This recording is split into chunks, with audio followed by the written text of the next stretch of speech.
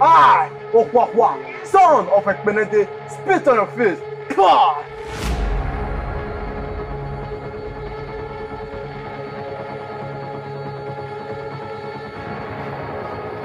Leave my house this instant.